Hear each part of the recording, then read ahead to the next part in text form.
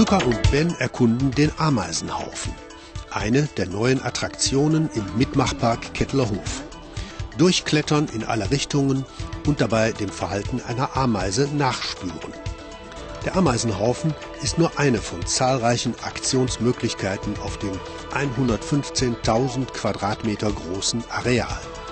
Viele können von Eltern und Kindern gemeinsam genutzt werden.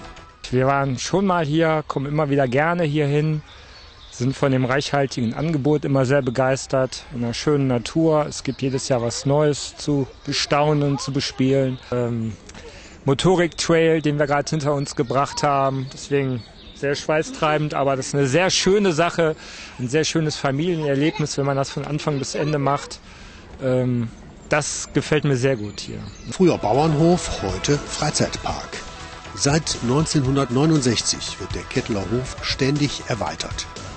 Die Priorität liegt auf Spielanlagen, bei denen die Kinder selbst aktiv werden müssen.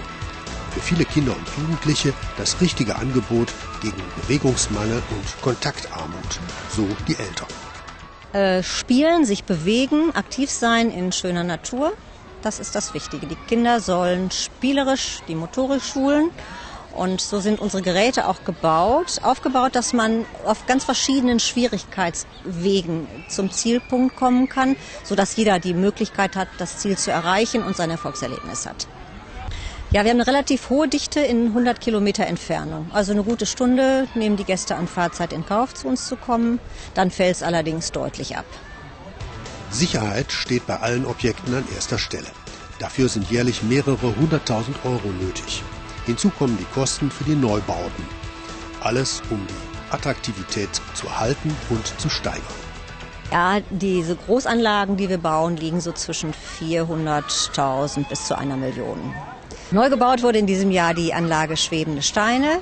Über verschiedene Schwierigkeitsgrade klettert man zum Gipfel dieser Anlage. Familie Müller erkundet den Motorik Trail, eine der beliebtesten Attraktionen im Park.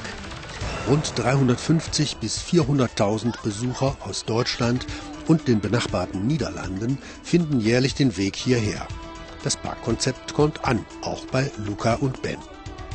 Ich finde eigentlich das hier am besten, dieser Motorik-Trail.